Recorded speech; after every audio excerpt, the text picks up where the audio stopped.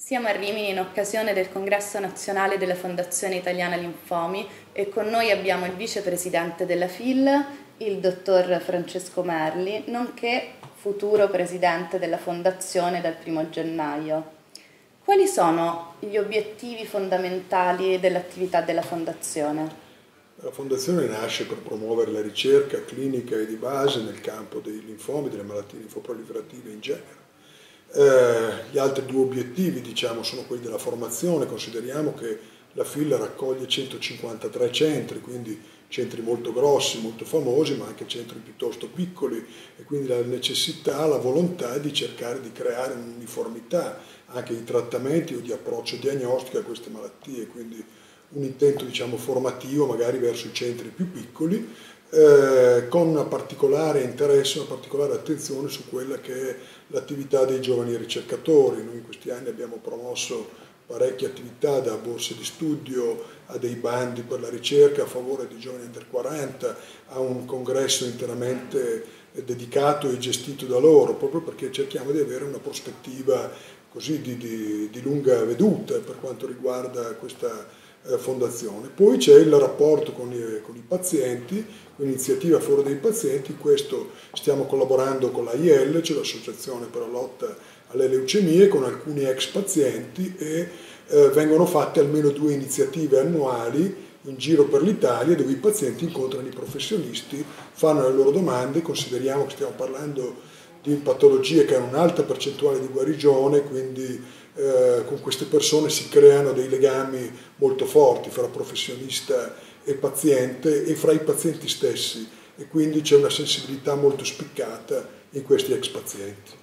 Quindi abbiamo parlato di tre obiettivi, abbiamo parlato di formazione, di rapporto con il paziente e di ricerca. Possiamo dire che sono tutti e tre allo stesso livello o c'è qualcuno più importante degli altri? No, come dicevo prima, l'obiettivo primario è quello di promuovere la ricerca eh, in questo senso abbiamo fatto un'analisi del lavoro svolto fino ad oggi, dal 2011, quando è stata fondata la fondazione, eh, per vedere come ci rapportiamo rispetto a quelli che sono i gruppi, come dire, i nostri competitor stranieri, quindi in particolare in Europa i gruppi cooperatori francese e tedesco che sono analoghi eh, ai nostri, poi il gruppo spagnolo, il gruppo inglese. Abbiamo visto che noi ci collochiamo, nonostante abbiamo una nascita più recente rispetto ai gruppi francese e tedesco, sono più grossi di noi e va anche detto dei mezzi probabilmente inferiori, da un supporto economico inferiore, ci collochiamo piuttosto bene, abbiamo una media di 13-14 lavori prodotti su riviste scientifiche internazionali ogni anno,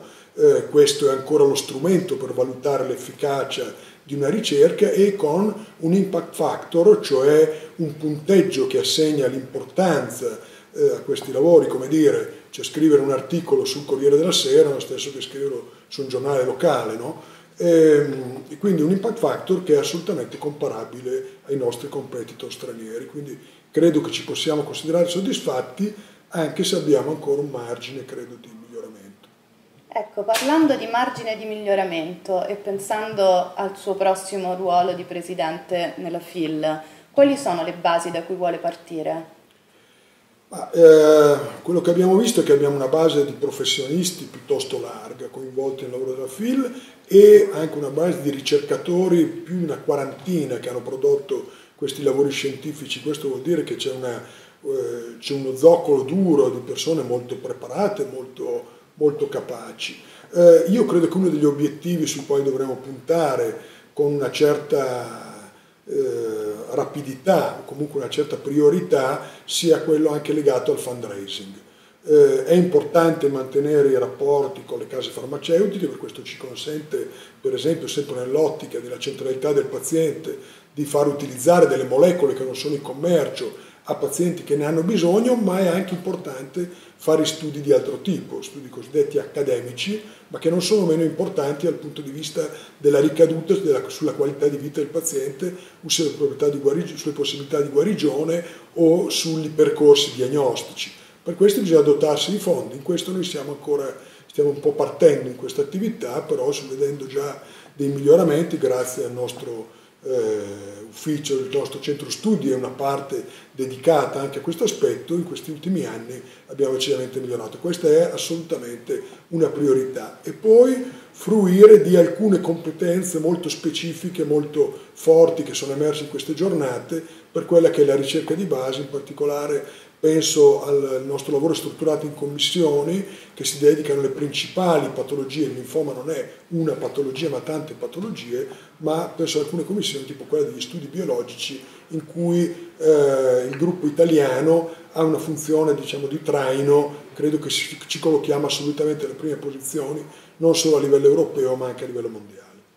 Infine, per concludere questa intervista, le vorrei chiedere una cosa.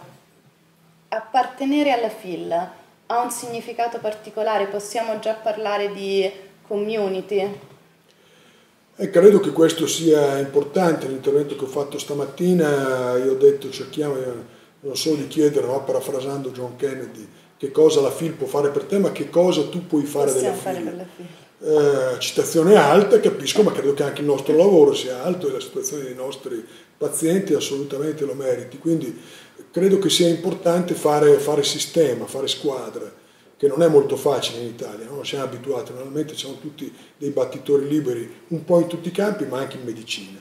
Quindi è importante che noi riusciamo a fare squadra, dobbiamo avere le capacità, eh, ci sono tante professionalità molto alte, questo è, eh, è, un, è un dono, una ricchezza, però è anche vero che è di più difficile gestione, quando in una squadra hai molti campioni, no? cioè metterli insieme non è sempre facile Ehm, dobbiamo però essere capaci di fare questo, perché abbiamo un, un focus, una centralità che è rivolta al nostro paziente.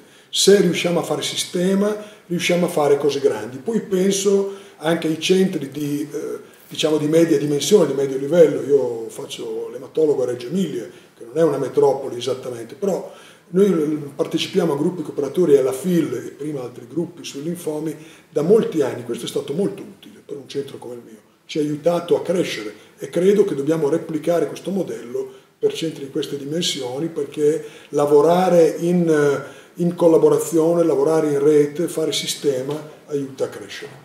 Vicepresidente, grazie e in bocca al lupo per il futuro. Grazie.